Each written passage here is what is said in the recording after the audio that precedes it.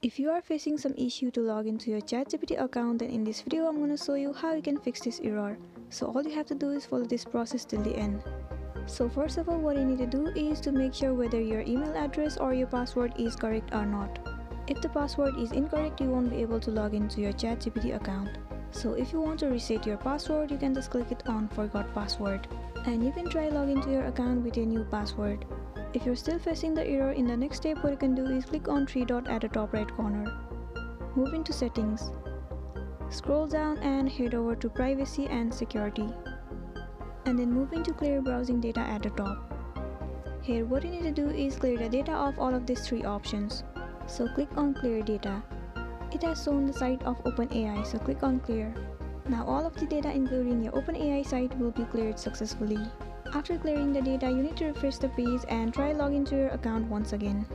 It might fix the problem that you have been facing to log into your ChatGPT account. Well, in the next step, you need to make sure that you are using modern browser to log into your ChatGPT account.